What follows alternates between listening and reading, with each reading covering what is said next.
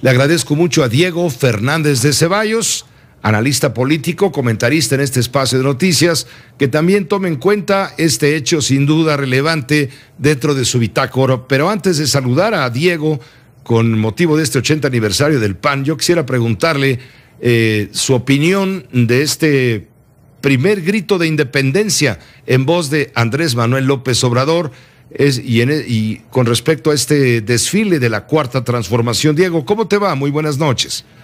José, buenas noches. Te doy mi opinión.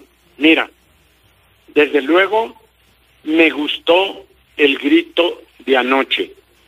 Puedo decirte que fue el grito que más me ha gustado de varios que yo he visto. E inclusive de algunos a los que yo he sido invitado especial. Me gustó porque se vio pasar al presidente y a su esposa solos por los salones de Palacio, absolutamente solos, para que no distrajeran las imágenes de cientos de invitados. Fue una ceremonia verdaderamente republicana. Me, me gustó ver al presidente acompañado únicamente de su señora esposa en el balcón principal, sin hijos, nueras, novios y demás, que nada tendrían que estar haciendo ahí. Me gustó pues esa sobriedad. ¿Qué puedo criticar, José? En primer lugar, que si la escolta de la bandera estuvo integrada por militares, hombres y mujeres, pues no me pareció, conforme a estos tiempos, que las dos mujeres fueran atrás de los hombres. Creo que bien pudieron haberlas colocado sin que pareciera alguna discriminación. Este es un comentario independientemente de los protocolos y de todas esas ceremonias de las que desconozco mucho. Pero a mí me hubiera gustado ver a las mujeres y a los hombres integrados, dos hombres y dos mujeres adelante y los que fueran atrás. Pero las mujeres atrás me parece que no es acorde con los tiempos en donde el hombre y la mujer en toda circunstancia debe estar en equidad, en igualdad y sin un paso atrás. En segundo lugar, me pareció que la esposa del presidente fue correctamente vestida para una ceremonia de esa importancia. Y aunque no soy José conocedor de modas ni de protocolos, a mí en lo personal me hubiera gustado que la señora hubiera vestido con manga larga. Sé que eso hoy es poco importante, pero doy mi punto de vista. La señora iba correctamente vestida, pero me hubiera parecido que se vería mejor la señora esposa del presidente con manga larga adecuada a esa ceremonia. Ahora, el ambiente en la plaza fue de alegría. No hubo mentadas de madre como en algunas otras ocasiones, pero para tantos a los que viene repartiéndole dinero el presidente López Obrador, yo habría imaginado muchos más, muchos más de los que llegaron.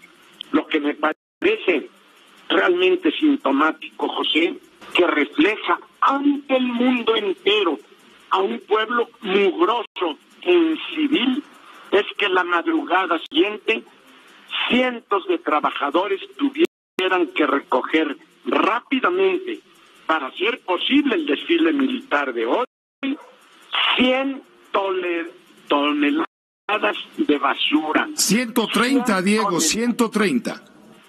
130, José, toneladas de basura en el zócalo.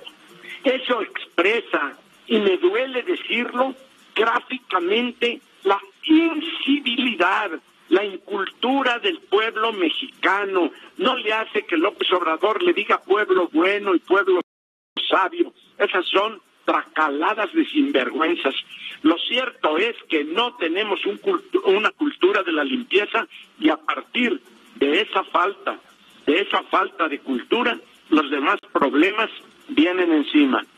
Inimaginable en Japón, en Suecia, en otras partes civilizadas del mundo, que después de una ceremonia ciento y tantas toneladas de basura reflejan que este pueblo necesita educación, necesita saber respetar las plazas públicas, las veredas, los caminos.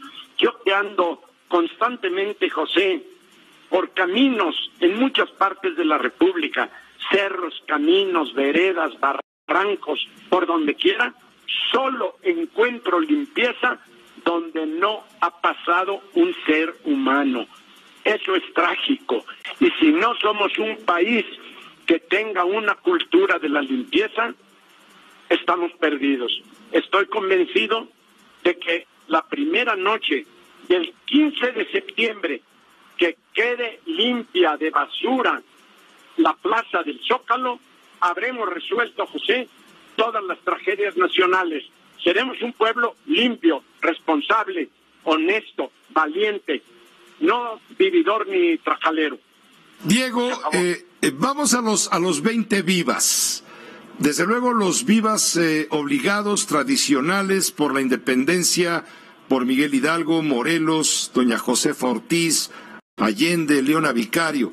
Y a partir del séptimo, sexto, séptimo viva, empezaron los vivas eh, por lo que ha luchado el presidente de la República en su, en su largo, largo camino a donde ha llegado a la presidencia de la República. Los vivas por las madres y los padres de la patria, los héroes anónimos, el pueblo de México, los indígenas, la libertad, la justicia, etcétera. Me parece secundario. Desde hace ya bastante tiempo estamos acostumbrados a que esta noche, de alguna manera, es del presidente y le agregan ahí eh, vivas y más vivas para lo que se les ocurre o para lo que creen importante. Decía Octavio Paz que el 15 de septiembre en la noche los mexicanos gritamos mucho y después ya dejamos de gritar. A mí me parece irrelevante todas esas tonterías que no son de ahora, sino son de mucho tiempo, porque habría que ver cuántos de los héroes realmente que faltan deberían de ser recordados y cuántos de los que se mencionan se mencionan por deformaciones de la historia oficial que nos han dado a creer. Por ejemplo, yo te diría que cuando el presidente de México nos dice que es maderista, me, tranquiliza porque quiere decir que es un hombre, el presidente López Obrador, que cree en el sufragio efectivo y en la no reelección. Pero cuando nos menciona a Juárez y dice que Juárez es uno de sus héroes, hay que recordarnos que el presidente Juárez, nadie lo sacó de la presidencia hasta que se murió. Y si Juárez no hubiera muerto, como dice la canción, todavía viviría. Diego Fernández de Ceballos, hoy el Partido Acción Nacional, fundado el 16 de septiembre de 1939, cumple 80 años. Sí, José. Mira, yo creo que Acción Nacional, que trae una historia de gran servicio a México en la lucha por valores fundamentales por la democracia, por la justicia, por la dignidad de los seres humanos, está llamado a ser hoy una alternativa honesta, sensata y atractiva ante el dominio total de un caudillo. Así, la Acción Nacional nació en contra de los caudillos y hoy vuelve a ser necesario que reviva esa llama humanista y democrática de Acción Nacional para que sea una opción al pueblo de México. Una opción, no la única, una opción para tener alternativa, para tener caminos en donde México no quede sometido a la capacidad, a la virtud, al defecto, a la miseria moral o a la grandeza de un solo ser humano, sino que formemos y conformemos instituciones sólidas y se requiere que Acción Nacional se abra la sociedad, que busque a lo ancho y a lo alto, a lo ancho y a lo alto de la República hombres y mujeres de bien, hombres y mujeres honestas que quieran hacer una tarea para mejorar la vida pública, buscar a los mejores y a las mejores. Y para ello se requiere que los dirigentes nacionales y locales abran las puertas, no al que quiera entrar como entraron a Morena todos los que saltaron de un barco a otro, todo el tipo de personas que no iban más que en busca de poder y de acomodo, sino que vaya buscando los liderazgos sociales, preferentemente de los jóvenes de hoy, para que se vayan estructurando en México, en acción nacional, opciones para tener un cambio en donde no quedemos sometidos a la grandeza o pequeñez, a la virtud o a la perversidad de un ser humano, sino que estemos fuertes institucionalmente para garantizar el destino nacional. Pues Diego, te agradezco mucho eh, este comentario, por supuesto.